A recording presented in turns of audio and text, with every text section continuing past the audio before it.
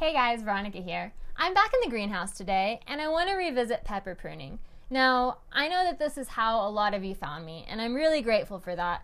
But I also sometimes am concerned just because I think a lot of people go online, and especially on YouTube, and they're looking for some like really hard and fast advice as to what they should do and when. And with gardening in particular, there is no like set rule in that space.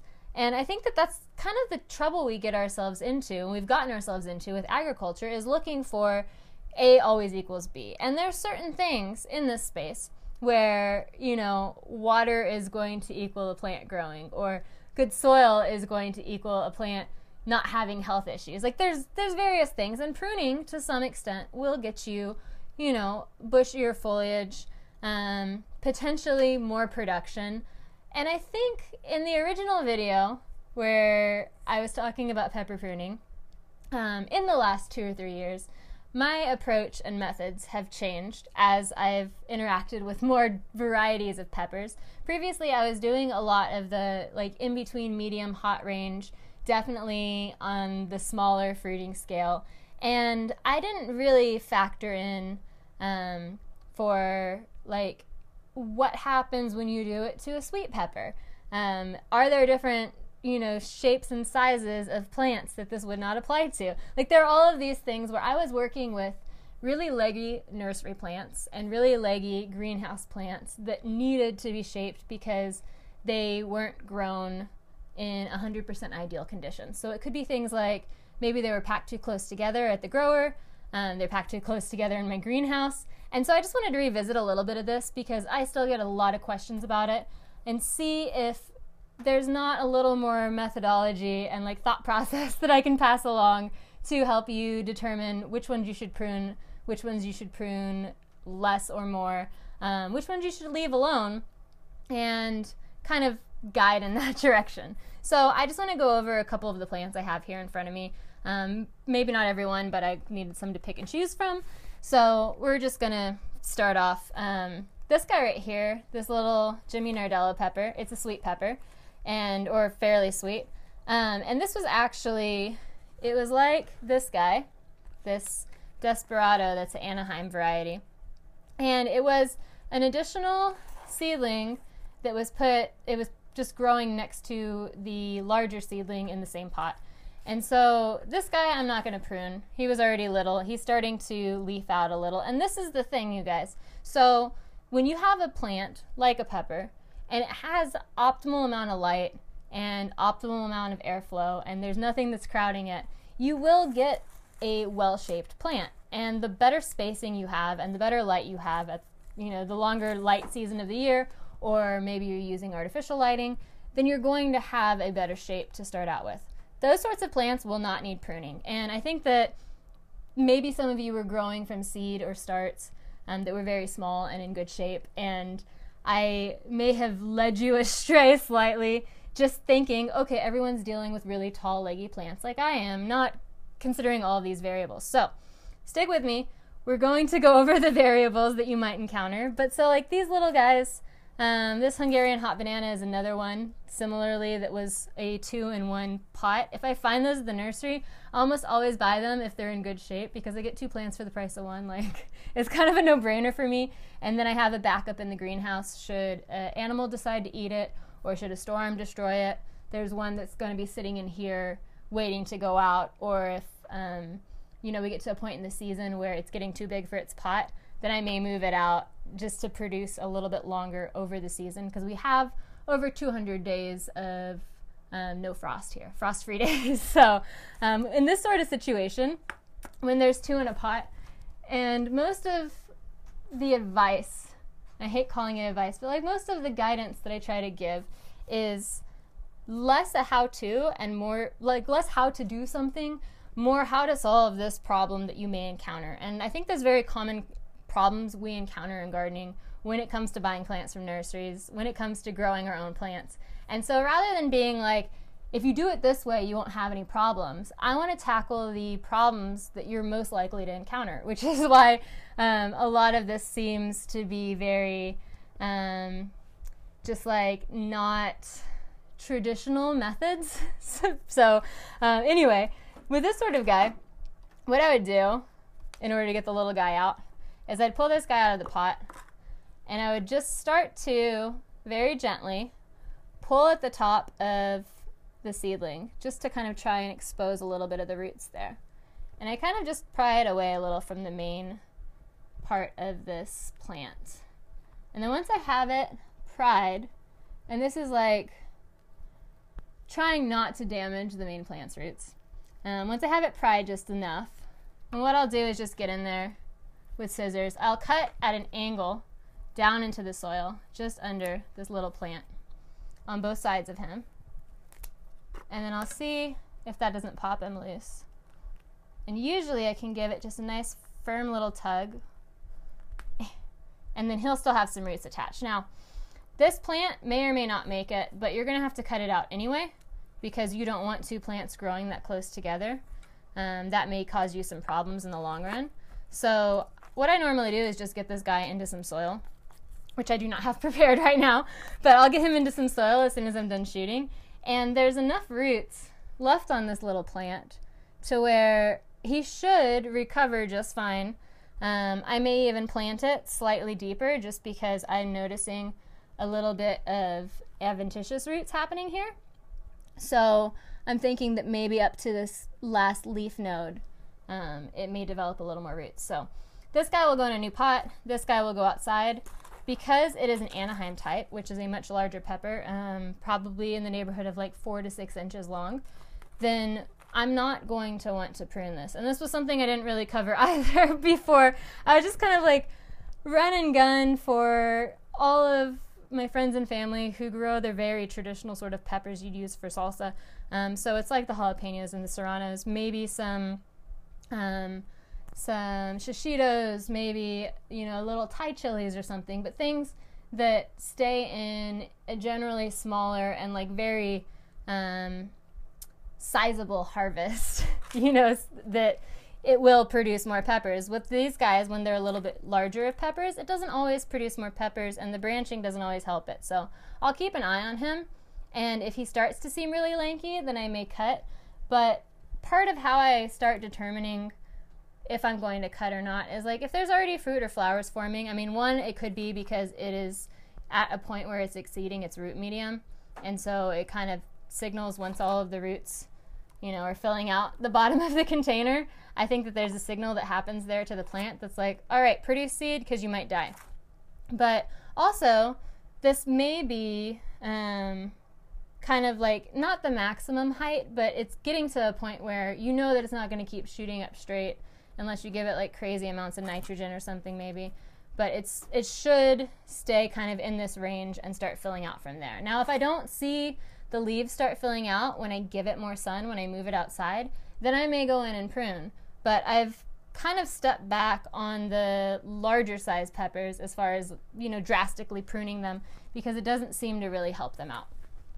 Now, when we're looking at, say, oh, here's one in that space um, that I did do a little pruning. So the top on this, it was kind of, it just looked really weak. So if you get a pepper where the growth is looking weak or it's looking, you know, kind of scraggly and um, you want it to look better, a lot of times you can prune that out and it'll start pushing out new growth as a response. And so I'm starting to just see, I pruned it a couple days ago, and so I'm just starting to see that new growth response that I really want. Again, these are Cubanelles, so they're not a huge pepper, but they're not super small by any means. I want to make sure that I have that main branch for all the peppers to come out of. Um, I'm not anticipating too much breakage, but I am in a high wind area, so if I start seeing plants breaking, then we're going back to the lopping them off pretty short so they can bush out and support themselves in, you know, 20 to 40 mile an hour wind on a regular basis. Uh, this is a little dude. This is a pimentos de padron that I got from a friend who sells peppers online. And I'm not sure what his like growing setup's like. I think I'm I know that it's soil, but I don't know like beyond that how he's watering and whatnot. Um, but most of his plants come out really healthy. There's sometimes like the lower leaves are still attached, but usually they're not, and they're packed and shipped fairly bare root.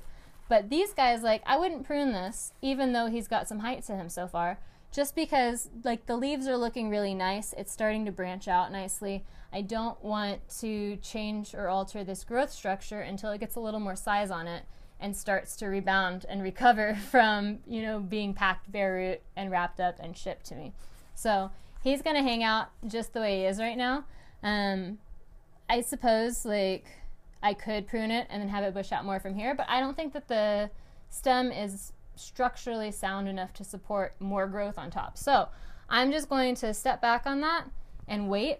If you were to have a stem like this gypsy pepper here, then it would be a little different story. You know, if you had a stockier stem and you had um, a little more growth than that, to be honest, then maybe you could go in and prune it. And did I prune this guy?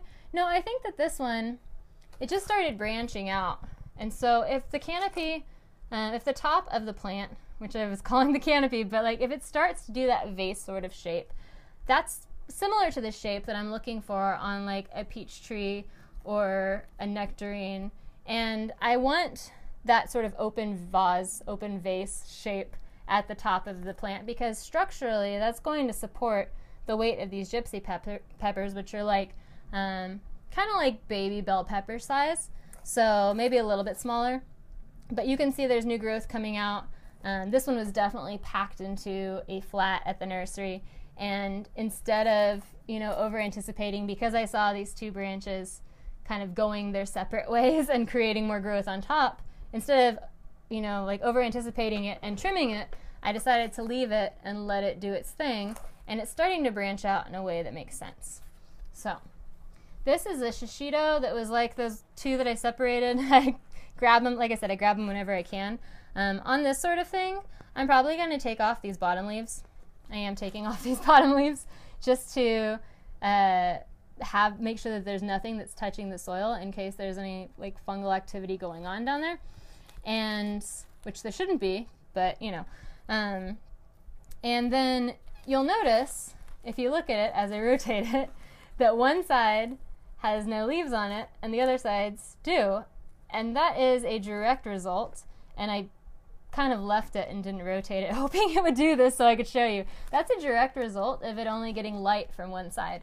So the light comes through this window and it's sitting like this and it's sitting with its back against another plant and then the back doesn't have any leaves. So if you have peppers in a greenhouse uh, or if you're getting them from a nursery, then you rotate it and it doesn't have any leaves on the back. That's probably what's going on there. You want to make sure that you're able to get light on it from all sides so that it will branch out well and you'll have a pepper that you don't have to retrain and prune. Now, this guy as a backup, I already have like half a dozen shishitos out there, and shishitos do respond really well to pruning. So I'm going to rotate it tomorrow, and then depending on how it responds to that, and depending on, you know, if these little bits of new growth start bending in the other direction and balancing it better or not, I may or may not go through and cut a few things off here and there to kind of straighten it out and see if I can't pull the growth back this way. But all of this is corrective. It's not um, doing it because this is the way that it needs to be done. I have seen a lot higher harvests on shishitos, in my experience at least, when I've pruned them at a young age versus when I don't prune them. And I do like that because they like aggressively branch out and try to create more plant very early. So then they'll set just like a ton of flowers and fruit. I think I picked, I don't know, probably like 30, like 20 like 20 pounds, maybe 30 pounds off of like six to eight plants last year over the course of six months. And I know that part of it, even though they got a slow start because I pruned them so aggressively, like part of it was that um, they had so much foliage and they had such quality soil and a ton of it that they were able to like really get the roots in there, get to work, and pump out a lot of peppers. So with shishitos, it works really well. Um, I've had it work great with jalapenos, with uh, serranos. I don't recommend it for bell peppers. I did try it last year and I generally don't grow sweet peppers, but I said, okay, well, let me try this with other varieties. And I just didn't get the production to warrant pruning. Now, if you start peppers from seed, you shouldn't have any of these problems. Um, this is generally like a buying from the nursery or starting peppers from seed, and they're too close together in their containers before you pot them up to the next container, or they're not getting enough light because you've started them too early and the artificial light's not um, enough hours a day, or I mean, there's a number of factors. But if you start them from seed, and these guys were volunteer seeds, then you shouldn't have leggy problems because you can control the amount of light that they get. And that's really the biggest thing with these guys is like as long as they're getting enough light from all sides, then you're going to have a very evenly growing pepper like these ones I got from my friend in the mail. Um, just because you're really focused on how much light it's getting and all of the directions that it's getting it from. This guy is a chili that I started at the end of last year that barely germinated. Um, so it's an overwintered pepper. I actually have a couple of overwinters here. There's this Tabasco, this Calabrian, um, and this habanero Tobago, which is a seasoning pepper. It's not spicy. And you'll see, like depending on how old they were, when I started to overwinter them, you can kind of see like where I cut them back to and then where the new growth is coming out. I'm going to hold off on pruning these further right now because one, they're just like they're just trying to recover, so I don't want to stress them out further. But also, I'm just going to see kind of how the foliage fills in. On the overwinters, you generally don't need to prune um, once they come back out because the foliage is going to be very close to wherever you prune it down to last year. But I just think they look really neat as they start to leaf back out. And hopefully, we'll get a good crop off of these guys this year, especially this one. But if not, I have seeds started too, so he'll be okay. Um, let's see who else. Oh, so I have this ghost pepper, and that was one the super hots that I had in the pruning video were particularly leggy for super hots, and some of them I had started from seed, some of them I got from the nursery. They just did not get enough light. And this guy has clearly gotten enough light. If you see a pepper plant that is really bushy and squat looking like this, then I generally wouldn't touch it. Like I might if this this um, particular stem keeps going up and it just keeps getting leggier and leggier, but I'm not seeing the growth out, then one, I need to move it to a place that has a little more light. But I also might just pinch off the tip. Um, I'm, I've kind of, like I said, I kind of stepped back from aggressive pruning, with the exception of shishitos, jalapenos, serranos, uh, any of the like really aggressive fruiting peppers, I will aggressively prune. But the ones that are a little bit touchier, I try to not. Um, I try to let them do their own thing and not mess with them too much. Another one I don't prune are chili piquins. I don't do those ones anymore at all. Um, I don't think I did those before, but it's just it's such a tender plant. The fruit is very small. The whole reason um, we have to remember, like the whole reason that I was pruning in the first place is because plants break. And if you live in a high wind area, if you're buying plants that are really leggy in the first place, or if your plants are growing leggy, then you want to try and kind of suppress the auxins that are making it grow up and push them back out to the side growth so that your plant will be bushier, the stem will grow a little thicker in the process, and it will be stronger and hold up to the high wind situation. I have lived in basically a wind tunnel and grown in basically a wind tunnel for the last uh, years now, like five years now. So most of my um, methodology and advice is factoring around that. It's going, okay, well, like if this is getting hit by a 40 mile an hour wind, like is it going to flex with the wind? Is it going to be short enough that the wind can go around it? Like, can it move through the branches? Or is it going to be so tall that if I don't stake it, it's going to snap and break? Can it support its own fruit? With the chili piquin, the fruit is very, very small, so it can support its own fruit. With something like the gypsy pepper, it depends. If it gets really tall, like it might not be able to support its own fruit, and then I'm either gonna have to stake it or wait and see if it breaks. So, certain things, um, you basically have to base it on fruit size. So, this is like a giant Marconi pepper, right? This is a sweet Italian pepper. It's not going to respond, it's probably gonna respond as well to pruning as a bell pepper would because it has this branching vase structure on the top I am going to leave it as is and see what happens. Um, I actually have another one out there that I've pruned, so I'm kind of doing the side by side comparisons just to see how it responds. I will sometimes prune off the leaves that just don't look good because why leave them on? They're draining the plant, it's trying to repair them. I'm popping them off. So, there was another one. Um, I don't see it though. So yeah, I mean that's basically. You can definitely. Oh, here it is. It's right in front of me. Um, so there's this is a habanero, and this would be like one of those. Um, you got to make a decision exceptions to the rule because habaneros are slow growers. They will start blowing up once it gets really hot. Now this has growth at the bottom, so you can see it's trying to bush out, and that actually might catch up with this top growth. Uh, if you wanted to try and push it to go faster, if you had a spot where you um, wanted it to just like shape out, I mean, what we're looking at is just pinching off the top here and then letting the other leaves bush out. And so I might actually do that with this guy just to see like how it goes because I do have another one out there that I did not prune. And so I'll usually just go down, uh, like I said before, you know, three, like two or three nodes, and then just trim it right above there. So I'll do this one here right there. And so it just takes off this little top growth. But unless your pepper is really, really, really leggy, like if it just had this height of this top growth and the stem was as thin as the very top of this all the way down, it didn't have all this bottom growth happening, then yeah, I would chop it off a little bit lower just because I want that pepper to kind of, I want the foliage and the stem width to catch up with the vertical growth so that it actually is able to support the fruit that it's growing. Uh, habaneros, I'm not as worried about breaking because the fruit is light, but if the fruit is really heavy, then it might be something that you'd want to consider is if this fruit is going to break or not. So, um, so yeah, I mean, basically, everything that you learn is going to inform what you thought you knew before. And as I started growing a wider variety of peppers and working with a wider variety and starting my own seed and working with better growers, then you start to look at it and your information changes. And I still will shape my plants so that they bush out because I like the structure. I like not having to stake them. If it's working for you, then keep doing that.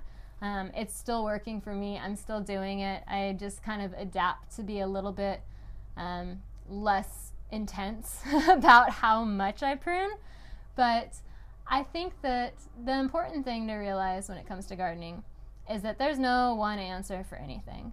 And the information and content that I try to present and provide is less of a this is how to do X and more of a um, if you have this problem, this is how you might try and solve for it. So if you can keep that in mind while you're watching my videos and just kind of, you know, look and expand that horizon as far as um, what are you trying to do?